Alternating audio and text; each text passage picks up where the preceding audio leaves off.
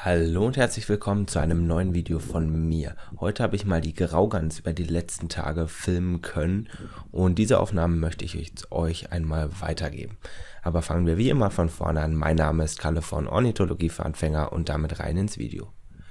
In diesem Video möchte ich euch außerdem noch eine kleine Herausforderung beibringen oder stellen. Und zwar äh, hört mal genau hin und schreibt mir in die Kommentare, welche Vogelrufe und auch Gesänge ihr in diesem Video im Hintergrund noch hören könnt. Und jetzt zurück zur Graugans. Die Graugans ist ungefähr 74 bis 84 Zentimeter groß und ist relativ anspruchslos ähm, von ihrem Habitat.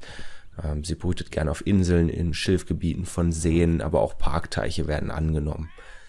Hier, wo diese Aufnahmen entstanden sind in Baden-Württemberg, brütet sie auch, Allerdings konnte ich keine gescheiten Aufnahmen von den Jungen machen, weil die dann doch relativ weit außerhalb von meiner Kamerareichweite rumgeschwommen sind.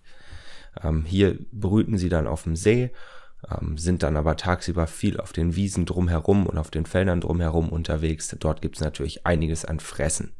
Der Nachteil dabei ist natürlich, dass die ähm, Gänse, die ja Füße mit Schwimmhäuten haben, nicht optimal für die nassen Felder ausgerüstet sind und somit bleibt viel Dreck an den Füßen hängen und das sieht man hier in dieser Aufnahme auch, dass die eine Gans sehr damit zu kämpfen hat.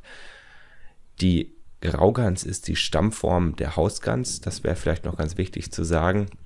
Also genauso wie die Stockente die Stammform der Hausente ist. Und das war es auch schon wieder von meinem Input. Ihr könnt jetzt noch die letzten Aufnahmen euch ansehen und wir sehen uns dann wieder im nächsten Video. Bis dahin.